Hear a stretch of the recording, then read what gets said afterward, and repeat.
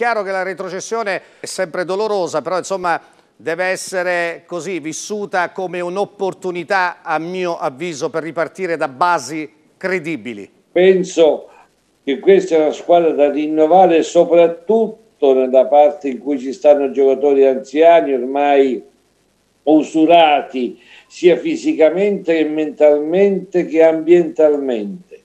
La cosa importante comunque considerando allo Stato il girone meridionale, sia una squadra che abbia fisicità, una squadra che abbia sangue fresco, muscoli freschi, perché questo è un campionato dove la corsa, il contrasto fisico, la battaglia domenicale è all'ordine del giorno.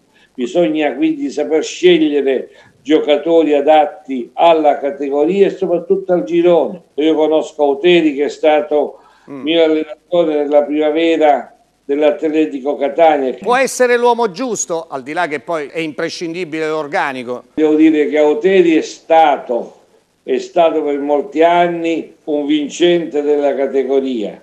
Quest'anno a Bari mi ha deluso, mm. mi ha deluso soprattutto nella costruzione della squadra. Il Bari era una squadra inguardabile un fatto è certo, non si può più improvvisare, come è stato fatto nelle ultime due stagioni. Quello che mi raccomando, mi auguro che quest'anno a Pescara ci sia personalità, personalità del direttore sportivo che si sappia rapportare con autorevolezza con l'allenatore, che abbia una, un certo oh, carisma anche nei confronti del presidente perché se si bisogna rifondare, bisogna rifondare con competenza, mestiere, professionalità, altrimenti non si va da nessuna parte, punta da capo come a prima. E poi bisogna in tutti i modi liberarsi di tutte queste catene dei procuratori, mm.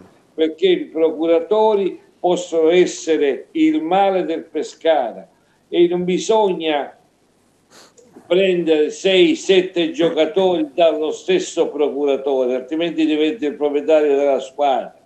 Bisogna sapere anche selezionare sotto questo aspetto. Quindi diciamo così, la sintesi serve all'attribuzione di competenze senza ingerenze. Mettiamola in questo modo. È sicuro, anche perché la squadra percepisce che chi comanda, chi parla sa o non sa di calcio e rispetta o non rispetta l'interlocutore.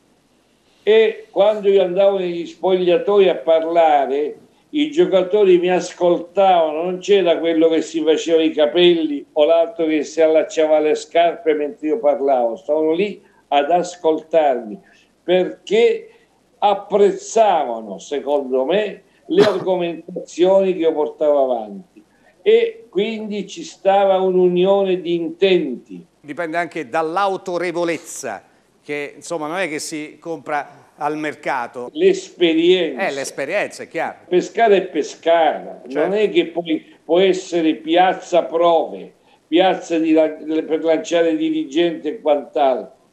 Lì poi puoi lanciare il giovane giocatore in campo, ma nella, nella regia dove si comanda ci vuole molta competenza, autorevolezza e soprattutto carisma.